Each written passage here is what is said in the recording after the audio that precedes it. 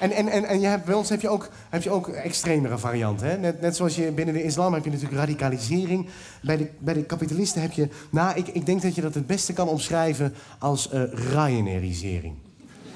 Toch? Ik denk dat Ryanair het beste voorbeeld is van hoe extremisme binnen het kapitalisme werkt. je koopt een vliegticket, dat is heel goedkoop. Maar alles wat je erbij wil kost geld. Ook de immateriële dingen hebben een prijskaartje. Alles. Vriendelijkheid, service, een menswaardige behandeling. Dat kan allemaal nog wel. Maar dat kost allemaal geld. Als je gewoon bijvoorbeeld alleen maar je ticket wil printen... gewoon dat je bij, bij de balie op het vliegveld je ticket krijgt, dat kan. Ook bij Ryanair. Maar dat kost je 70 euro extra per ticket. Dat is geen grap. 70 euro per ticket. En dan vraag je je af... Hoe weet die jongen dat dan? Leuk verhaal. Ik ging naar Londen vorig jaar en een vriend van mij in de finance, in de city. Nou, dan moet je naar de airport, dan zoek je een plane die daarheen gaat. En dan is Ryanair het goedkoopst. Dus het is, het is verleidelijk. Ik ben afgelopen jaar nog gezwicht. Ik ben afgelopen jaar nog met Ryanair op transport geweest. Laat ik het zo formuleren. En een van de eerste dingen die je dan moet doen, je moet thuis je ticket printen. Dat hoort erbij. Je moet naar de, naar de computer, dan moet je naar de, naar de site van Ryanair. Dan moet je inloggen met je Ryanair-account. Dan begint het bij mij al, dat ik denk, heb ik een Ryanair-account?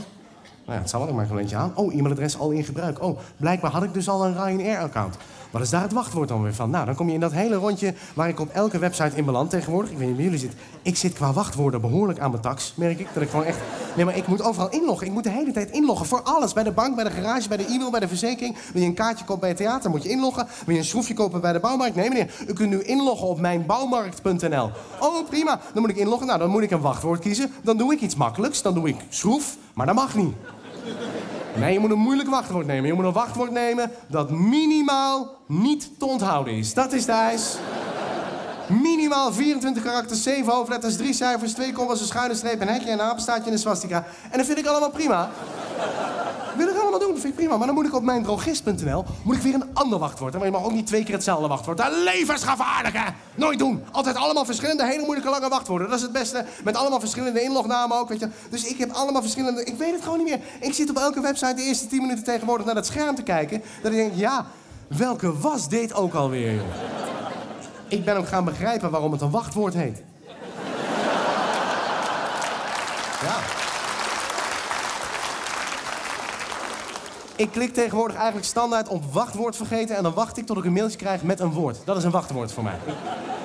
Maar goed, nou in dat rondje kom je bij Ryanair Nou, uiteindelijk ben je daar doorheen, dan heb je de eerste drempel overwonnen... dan heb je je ticket voor je op het scherm staan. En dan is er een knopje, print je ticket.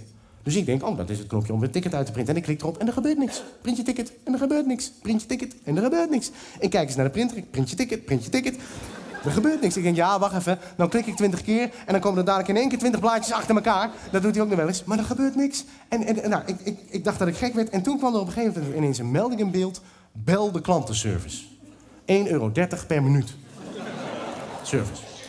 Dus ik dacht, oké, dan bel ik de klantenservice. En die vertelde mij toen heel langzaam ehm, dat ik te laat was. Ik was te laat. Ik had minimaal vier uur voor de vlucht moeten printen. En ik woon in Nijmegen. Ik vloog vanaf Wezen in Duitsland. Dat is een half uurtje rijden. Dus ik had op 3 uur en 38 minuten van tevoren pas ingecheckt. Te laat! Nu kon ik absoluut niet meer zelf printen. Ik moest nu naar het, naar het vliegveld en daar moest door een medewerker van Ryanair met een speciale procedure mijn ticket worden geprint. En daar waren helaas de servicekosten van 70 euro per ticket aan verbonden. Ik dacht, nou, dan had ik net zo goed met KLM kunnen gaan. Maar ja, ik had al betaald. Dat geld krijg ik niet meer terug. Dus ik dacht, ja, nou ja, dat, dat, dat, ticket heb ik betaald. En voor 70 euro koop ik ook niet ergens anders nog een nieuw ticket. Ik wil toch naar Londen vandaag. Dus de enige optie die je hebt, is bijbetalen. Je loopt in de fuik van de bijbetaling... waar je de rest van de dag niet meer uit gaat komen. Dus ik denk, nou, ik denk oké, ik moet bijbetalen. Laat ik in elk geval proberen vrolijk te blijven. Want als ik, als ik moet bijbetalen en ik word chagrijnig... dan hebben ze me dubbel te pakken. Dat laat ik niet gebeuren. Ik ga het omdraaien. Ik moet 70 euro bijbetalen voor een service. Laat ik gewoon eens proberen te genieten van de extra service... die ik voor die 70 euro mag ontvangen. En, en laat ik ook vooral genieten van de status. Want dat is wel lekker, hè? Bij Ryanair je ticket laten printen... is toch een beetje het nieuwe business class vliegen. Dan laat je wel zien van, nou, ik kan mij een en ander permitteren. Hè? Daar kun je... Daar kun je bij de golfclub gewoon mee aankomen. Nee, ik laat mijn ticket altijd printen. Oh, kom erin, Kuro. Ik stel je voor een JP. Weet je, dat is toch een beetje hoe die dingen gaan. Dus ik dacht, laat ik ook met die houding de hal binnenlopen, ferme passen, borst vooruit. Als een, als een man die zijn ticket laat printen, voorbij het gepeupel, strak langslopen. Hè? Strak langs dat, dat klootjesvolk met die A4'tjes, weet je de stumpers, de thuisprinters. Strak langslopen. Dat je het hoort gonzen door die vertrekken. Heb je het al gezien? Heb je het al gezien? Hij gaat tegen naar de balie. Hij loopt naar de balie. Oh, hij gaat printen. Wow! Weet je? Zo liep ik die hal binnen. Kijk maar goed, hier loopt een printer. Weet je, zo liep ik die hal in. En ik kwam bij die balie, dus dat een mevrouw. Ik zei, goedemiddag mevrouw, ik wil graag mijn ticket laten printen. En die mevrouw was Duits, die verstond mij niet. Maar ze begreep precies wat ik bedoelde. Dus ze pakte de pen waarop ze zat te kauwen uit haar mond... en ze wees naar de overkant van de hal. En ik liep naar de overkant van de hal. Daar stond een automaat. Op die automaat was een beeldscherm. Op dat beeldscherm was een website die verdacht veel leek. Op de website die ik thuis ook al had. Ik moest inloggen met mijn Ryanair-account. Ik kon weer niet op printje ticket klikken. Maar deze automaat had één functie die mijn computer thuis niet heeft. Naast het beeldscherm was een gleuf waar, door een wonderlijk toeval, mijn creditcard precies doorheen kon. En 70 euro later stond ik met het duurste A4'tje dat ik ooit in mijn klauwen heb gehad. Voor nul op vliegveld Wees.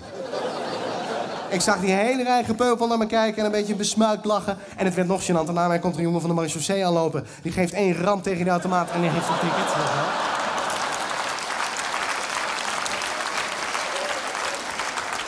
Maar, maar het ergste is, het moet nog beginnen. Hè? Je voelt je al kapot en klein en vernederd. Maar de hele vernedering moet nog van start gaan. Want dat is wat Ryanair is. Het is vernedering, op vernedering, op vernedering, op vernedering. Je zal tot in elke vezel van je lijf voelen hoe weinig je hebt betaald. En, en nou ja, ik denk zelf dat Ryanair een sociaal experiment is. Ik denk dat iemand gewoon eens wilde proberen van... joh, hoe ver zou je mensen eigenlijk kunnen vernederen...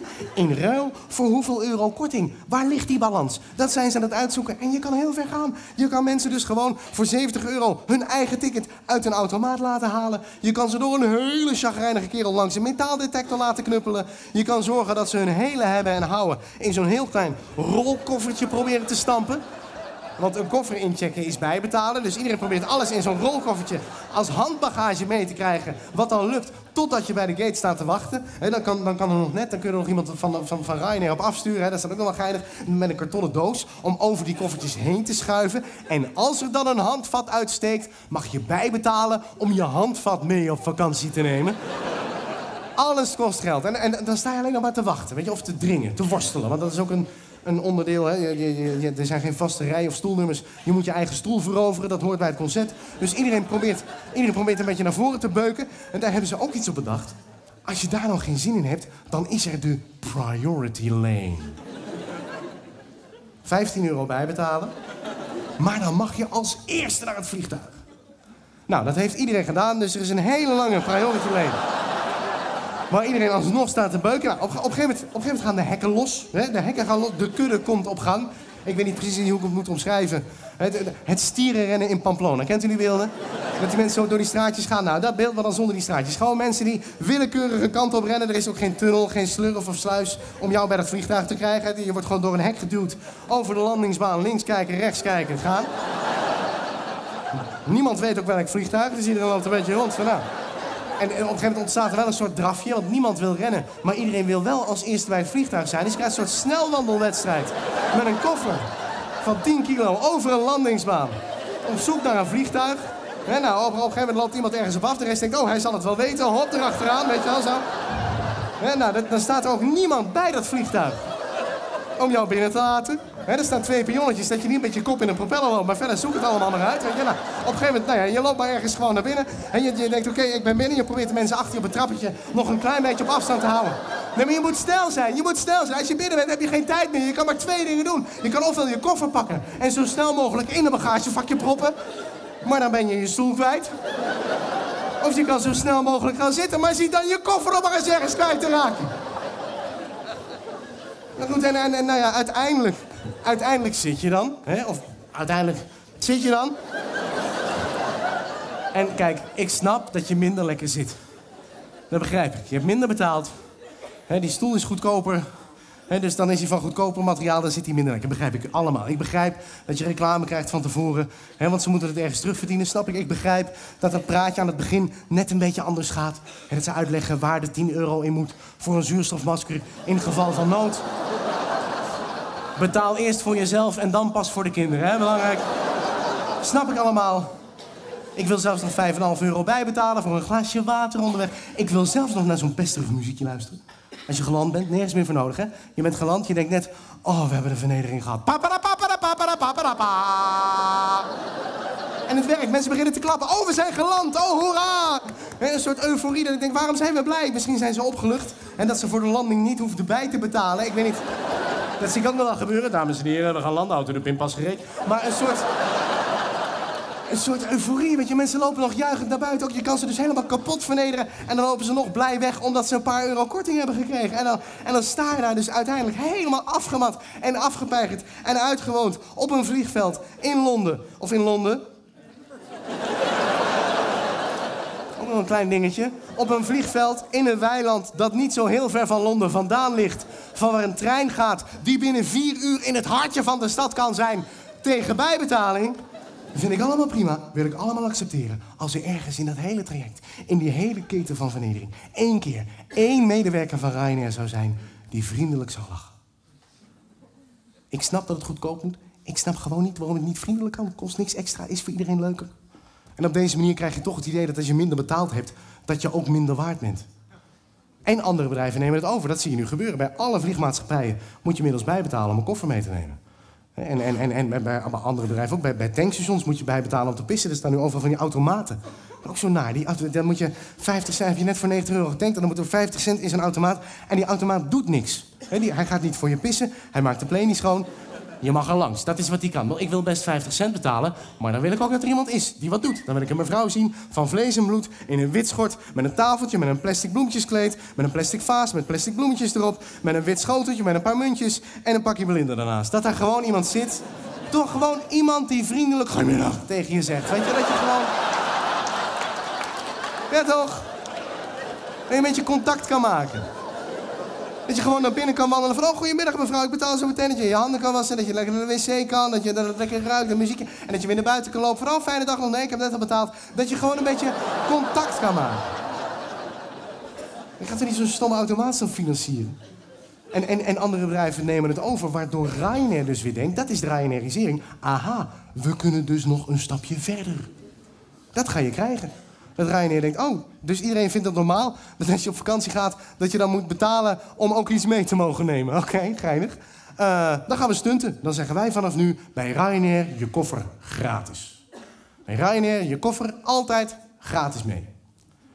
Maar, als je zelf mee wil... dan moet je bijbetalen. Per kilo. Gewoon om ons te fucken. Gewoon om te kijken hoeveel mensen bereid zijn om zichzelf uit te hongeren voor een retourtje Barcelona. Barcelona, een vliegveld dat niet zo heel ver van Barcelona vandaan ligt en beter Parijs-Zuid had kunnen heten.